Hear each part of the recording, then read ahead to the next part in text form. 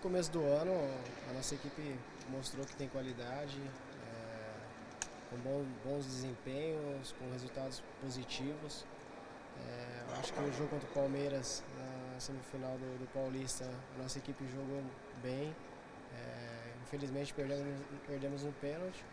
E no jogo São Paulo foi um, um jogo atípico, né? Então é, a nossa equipe é, vem de dois resultados aí que não foram bons para a nossa equipe, mas a, a gente teve tempo agora para trabalhar, a comissão técnica, o Tite teve tempo para colocar, é, acertar os erros, para quando chegar agora nesse jogo de amanhã a gente estivesse preparado. Então a gente já fez tudo que tinha que fazer e agora a gente tem que retomar de novo o que a gente vinha fazendo de, de positivo.